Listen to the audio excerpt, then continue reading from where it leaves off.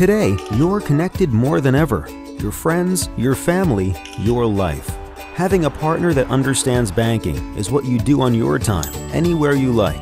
It's about being connected. Renaissance Bank, understanding you.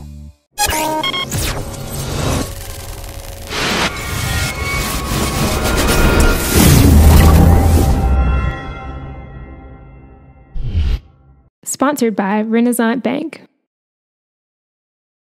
Good morning, Northeast Mississippi. This is Newsbreak for Thursday, November 24th. I'm Brad Locke. Happy Thanksgiving and thanks for joining us here on Newsbreak, which you can catch every weekday at 7 a.m. You can watch it at djournal.com, Facebook, YouTube, or the Daily Journal mobile apps for Apple and Android devices. Going to give you a quick update now on news, sports, and weather in Northeast Mississippi. Let's start with the weather underground forecast for today. Partly cloudy skies, high of 65 degrees, low of 41, just a 20% chance of rain. The three day outlook Friday, clear skies, high of 68, low of 38. 10% chance of rain. Saturday, clear skies again with a high of 62 and a low of 33. 10% chance of rain. And on Sunday, clear skies, high of 66, low of 45, and a 0% chance of rain. Let's take a look now at some of the top stories from your daily journal and djournal.com on this Thursday. The holiday shopping season officially begins today, with more than 137 million Americans expected to go shopping in stores or online over the next four days. Several local stores are open today, a day ahead of Black Friday. The mall at Barnes Crossing will open at 6 p.m., although several of its tenants will open earlier. JCPenney opens its doors at 3 p.m. and Belk at 4 p.m. Small businesses will get in on the big shopping weekend as well. Greatest Hits Music and Books is ready for Record Store Day Black Friday and Small Business Saturday. Now, some folks prefer to wait until Friday to do their shopping, while others like to get it out of the way. That's the approach of Cindy White, who said that once she's eaten her Thanksgiving meal today, she and a couple of her female relatives will go shopping while they, quote, let the boys watch football. The shopping will continue well past this weekend, of course. The National Retail Federation expects retail sales in November and December to hit $655.8 billion, an increase of 3.6% over last year. And there won't be just more shoppers out on Black Friday, there will also be more police officers. According to Deputy Police Chief Alan Gilbert, the Tupelo Police Department will have an increased presence in patrols and will utilize reserve officers as well as the Special Operations Group. And starting Wednesday afternoon, uniformed officers on foot patrol were assigned to shopping areas, and that will continue through Friday. Several stores also will hire off-duty officers in an effort to keep stores secure and make sure everyone remains calm during the frantic search for deals. Most of Friday's shopping frenzy will be focused around the mall at Barnes Crossing in Tupelo and surrounding retailers, but other areas will be drawing crowds. Gilbert said motorists should be patient and attentive, and also he urged shoppers to be aware of their surroundings and not to leave purchases in plain sight in their vehicles. A two-day workshop earlier this week taught attendees the ins and outs of being a sitter. The Safe Sitter workshop was hosted by the North Mississippi Medical Center.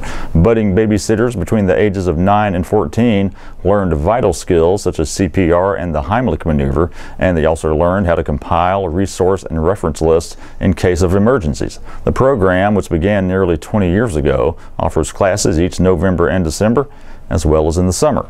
Safe Sitter Coordinator Connie Stewart said she has seen the class pay off in a big way. She gave an example of a young girl who used what she learned during the workshop to save the life of her baby sister, who choked on some food while the girl was watching her. Stewart said that over the years, the curriculum has changed a little to adapt to the times, especially in regards to technology. The next workshop will be held December 19th and 20th. Parents must pre-register to get a spot for their child by contacting Stewart at 662-377-7252. And in sports, the battle for the Golden Egg kicks off Saturday at Vaught Hemingway Stadium in Oxford, with Ole Miss looking to make it three wins in a row over rival Mississippi State. A victory for the Rebels would make them bowl eligible, while the Bulldogs are looking to end a tough season on a high note. Kickoff is set for 2.30 p.m., and the game will be televised by the SEC network. And on the high school scene, six Northeast Mississippi teams will be in action Friday in the state football semifinals. In Class 5A, West Point will host Lake Cormorant, a team it has already beaten once this season. In 4A, two area teams clash from Pontotoc visits Lafayette. Two area teams also meet in the 2A semifinals with Baldwin visiting Calhoun City. And in 1A, Smithville will head to Simmons. Friday's winners advance to the state championships, which will be played next weekend at Mississippi State University.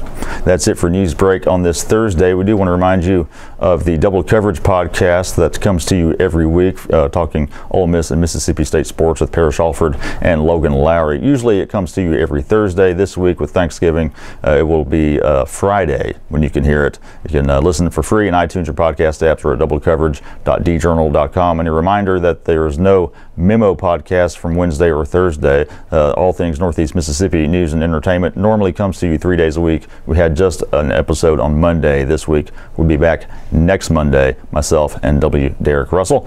Be sure to uh, follow us on Twitter at DJournal Now and give our Facebook page a like as well.